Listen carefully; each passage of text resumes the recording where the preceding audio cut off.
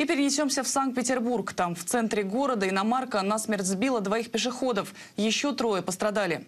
ДТП произошло этой ночью на Невском проспекте у дома номер 55. По неустановленной причине водитель БМВ, мужчина 29 лет, не справился с управлением, и его машина вылетела на тротуар, сбив людей. Идет проверка. Пока неизвестно, задержан ли виновник аварии и каково состояние пострадавших.